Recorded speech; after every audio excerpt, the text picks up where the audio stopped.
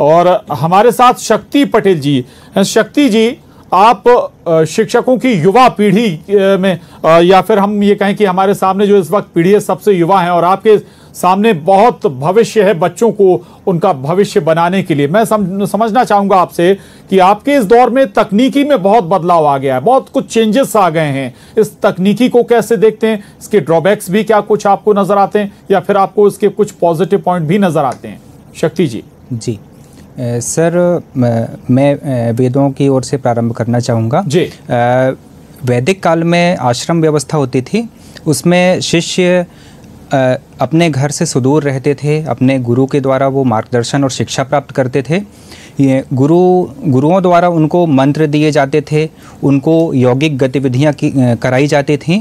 और साथ में उनका समग्र विकास जीवन कौशल है योग शिक्षा है अनुशासन है ये सारी जो गतिविधियाँ हैं कराई जाती थी।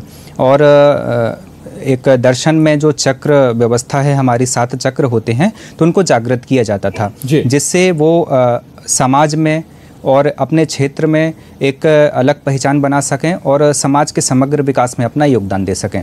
इसके बाद कुछ आयोग गठित किए गए स्वतंत्रता के पहले और स्वतंत्रता के बाद। तो ये जो आश्रम व्यवस्था थी, उसके बाद स्कूलों में ये बदल गए। स्कूल व्यवस्था शुरू हुई, जिसमें एक बिल्डिंग के अंदर सारे छात्रों को शिक्षा दी जाती है और उनको अध्यापन कार्य कराया जाता है। अभी मुख्य रूप से विगत सत्र से जो हमारे सामने कोरोना नामक एक महामारी है तो इसमें टेक्नोलॉजी का इम्प्लीमेंटेशन पर्याप्त किया गया है। शासन ने बहुत प्रयास किया है इसके लिए और हमारे सभी शिक्षक साथियों ने इसके अंतर्गत कार्य किया है। जैसा कि शासन ने हमारा घर, हमारा विद्यालय कार्यक्रम डिजी लैब कार्यक्रम, टीवी, यूट्यूब इत्यादि के माध्यम से अध्यापन कार्य करवाने का प्रयास किया और ग्रामीण सुदूर अंचलों तक शिक्षा व्यवस्था पहुँचाने का कार्य किया। तो ये काफ़ी सकारात्मक हैं और अभी जो वर्तमान पीढ़ी है ए, क्या था कि कुछ समय पहले तक ये इस टेक्नोलॉजी से अनभिज्ञ थी पूरी तरह। YouTube digi lab digital platform इन सभी टर्मिनोलॉजी के बारे में वो नहीं जानते इस, थे। इस टेक्नोलॉजी का अगर हम ज़िक्र करें शक्ति जी, जी इसमें कुछ फ़ायदे भी नज़र आते हैं लेकिन कुछ इसके लॉस भी नज़र आते हैं। जी जी। सर फ़ायदे तो बहुत हैं। इसमें हमें एजुकेशनल मटेरियल जो है वो पर्याप्त उपलब्ध होता है। जैसे यूट्यूब है डिजिलैप निष्ठा कार्यक्रम चल रहा है। काफ़ी सारे प्रयास किए गए हैं एजुकेशनल मटेरियल छात्रों तक पहुँचाने के लिए।